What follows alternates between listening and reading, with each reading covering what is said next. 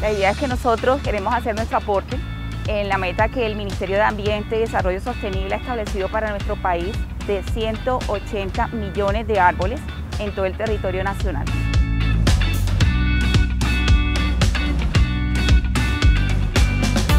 Se sembraron aproximadamente 60 ejemplares eh, detrás de la zona de eh, softball, detrás de la zona de softball y 40 eh, plántulas en todo el borde que limita con la troncal del Caribe, es decir, en toda la granja experimental eh, de la Universidad de Magdalena. Estamos sembrando especies nativas, donde tenemos eh, entre ellos el ébano, tenemos eh, el platinicium, conocido popularmente como trébol. Puede llegar más o menos a unos 3 o 4 metros.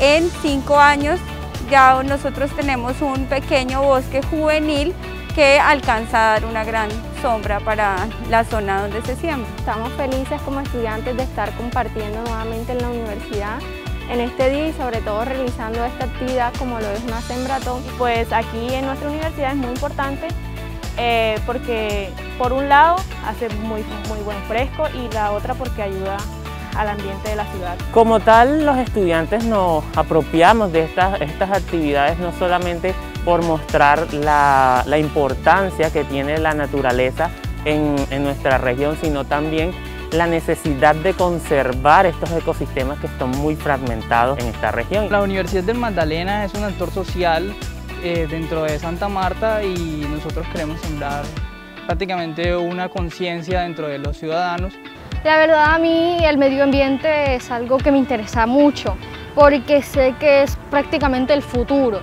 Y cuidar el medio ambiente, plantar árboles, reciclar siempre es el principio o la base para tener un buen camino. Porque sembrar matas y árboles es muy bueno porque dan oxígeno. Universidad del Magdalena, aún más incluyente e innovadora.